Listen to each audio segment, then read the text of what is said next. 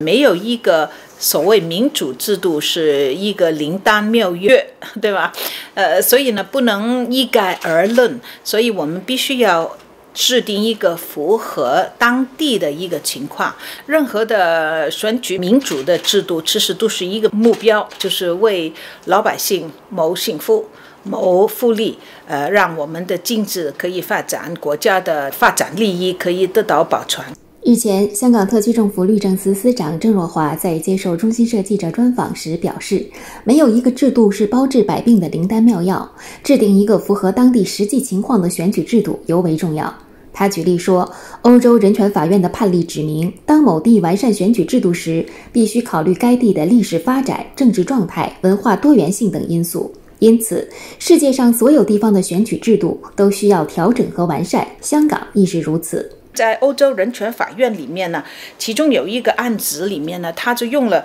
怎样来形容每一个地方来制定他的那个选举呃制度应该怎么样？他说，欧洲各地的历史发展、它的文化多样性，还有政治思想等方面都各有差异，所以每一个缔约国均有权按本国的情况塑造自信的民主愿景。换句话讲，每一个地方都会用自己的方法来制造一个最适合实质情况的一个民主选举制度。现在设计的是一个新的香港的民主选举的制度，有香港的特色。香港的特色就是我们有怎样的乱象，我们要回来，但是呢，也必须要符合到爱国者治港那个一国两制的方针。郑若华分析称。此次修法的重点和特点体现在广泛代表性、均衡参与、提升治理效能、改善行政立法关系、落实行政主导等几个方面。第一呢，就是广泛代表性，所以我们看到人数是多了。我们也有一个第二点呢，就是能够在社会上面呢，可以有一个呃更大的均衡有序的。政治参与，所以呢，我们在那个界别里面呢，看到人大常委呢也做了一些调整。第三呢，就是提升啊那个香港的治理效能。那第四呢，就是我们必须要体现到一个整体的社会利益。那最后了，就是回到我们基本法的政治架构，把行政立法的关系改良改善，是是是有效的，把行政长官主导这一个。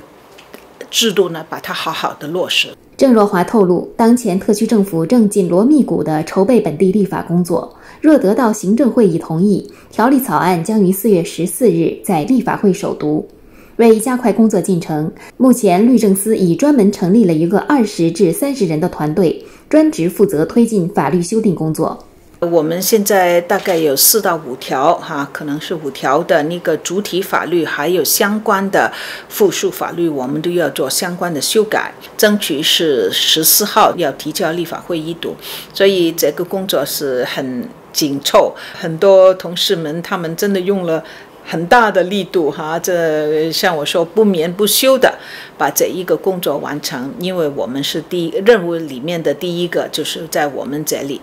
那跟着之后呢，我们希望是五月底能够审议完毕，能够通过，因为六月就要选民登记相关的事情，跟着九月、十二月、三月都有三场的选举，所以那个工作都是很紧张。